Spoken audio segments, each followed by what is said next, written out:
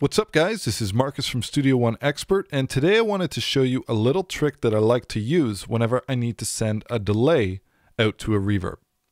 So I come up from the Pro Tools environment and in Pro Tools you can send any effect that you have that we bring back on an auxiliary return channel, you can send that to another effect.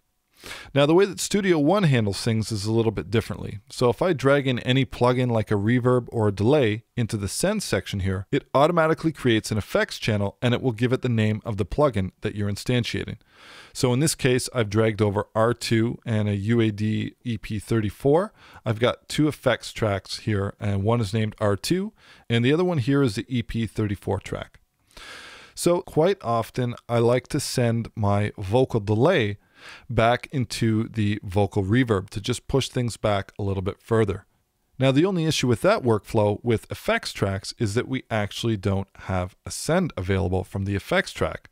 So essentially, I can't send out this effects return back into the reverb here.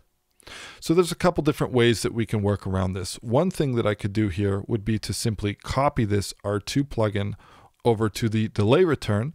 And then I would make an adjustment to my mix here. So I could dial in, you know, a wet and dry amount that would be somewhere around, I don't know, whatever I need it to be. Could be 20%, could be 50%, whatever fits it, suit it to taste. But that's not quite what I want to do here. So I'm going to go ahead and remove that. In fact, what I want to do is I just want to have one reverb running maybe for the entire session. And I want to have everything glued together and I want to have everything going out to that reverb so it just gels everything together for me.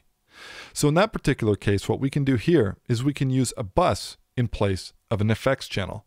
So I'm going to right click right now. I'm going to add a bus channel. We'll name that delay.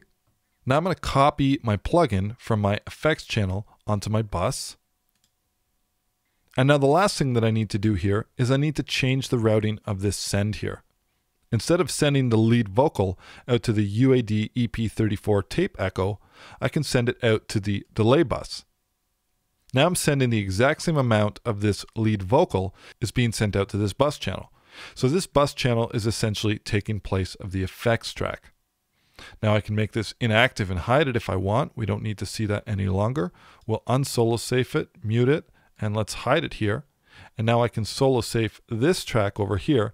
And now I have the added benefit that I can take this delay track and we can grab an R2 reverb and we can send the delay out to a reverb. So let me just solo this out for a sec. 16 years later in this young lady let me just goose up the send level a bit so we can almost exaggerate this. Speaking to a crowd who as opposed to who needed to see she So there's definitely times where this type of workflow is useful. And anytime that I need to send an effect back into another effect, I'll use a bus in place of an effects channel in Studio One so that I can use the send from the bus and send into other effects. Anyways, I hope you guys got something from this, and we'll talk to you later. Cheers.